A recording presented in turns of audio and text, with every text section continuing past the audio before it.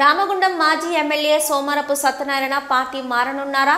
BJP పార్టీలో ఇమడలేకపోతున్నారా ఆయన పార్టీ మారితే ఎవరికి నష్టం? ఎవరికి లాభం? మా సిటీ న్యూస్ అందిస్తున్న స్పెషల్ ఫోకస్. రామగుండం మాజీ ఎమ్మెల్యే సోమారపు సత్యనారాయణ పార్టీ మారే యోచనలో ఉన్నట్లు సొంత పార్టీ నాయకులే చెప్పుకుంటున్నారు.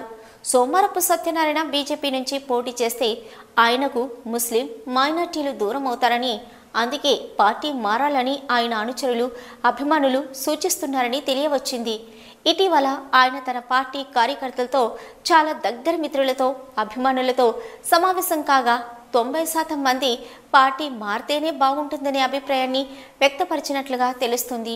అయితే ఇప్పటికే అన్ని పార్టీల నుంచి ఆశావాహులు వారి వారి పార్టీల తరపున ప్రచారం జరుపుతుండగా సోమరపు సత్యనారాయణ మాత్రం చడి చప్పుడు లేకుండా నిమ్మకుండిపోవడంతో ఈ అనుమానాలకు బలం చేకూరుతుంది.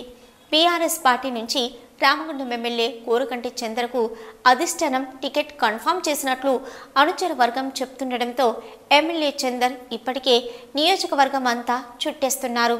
కాంగ్రెస్ పార్టీ నుంచి తానే బరిలో నిలుస్తానని ఇప్పటికే ఎంఎస్ రాజ్ ఠాకూర్ కూడా నియోజకవర్గాన్ని చుట్టేస్తున్నారు.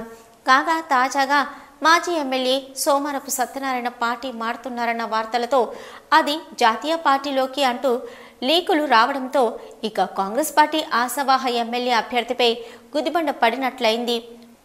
ఒకవేళ సోమరపు సత్యనారాయణ కాంగ్రెస్ పార్టీలో చేరితే మరి మక్కన్ సింగ్ రాజ్ ఠాకూర్ పరిస్థితి ఏమిటనే చర్చ కూడా రామగుండం నియోజకవర్గంలో సాగుతుంది. సోమరపు సత్యనారాయణ కాంగ్రెస్ పార్టీలో చేరితే ఇంతకాలంగా మక్కన్ సింగ్ వెంట తిరిగిన వారంతా సోమరంకు సహకరిస్తారా అన్న సందేహం కూడా ప్రజల్లో వ్యక్తమవుతుంది. ఇవన్నీ బేరీజు వేసుకోవాల్సిన అవసరం కూడా సోమరపు సత్యనారాయణ ముందు ఉంది. ఇతర పార్టీల్లో చేరడమా లేదా ఉన్న పార్టీలోనే అందరినీ కలుపుకొని పోవడమా?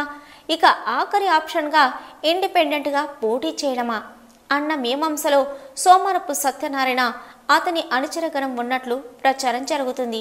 అందుకే అన్ని పార్టీలు ఇప్పటికే రాజకీయ ప్రచారంలో దూసుకుపోతున్నా తాను మాత్రం ఎటూ తేల్చుకోలేని స్థితిలో ఇంకా ప్రచారం మొదలు పెట్టకుండా వేచి చూస్తున్నారని తెలియవచ్చింది.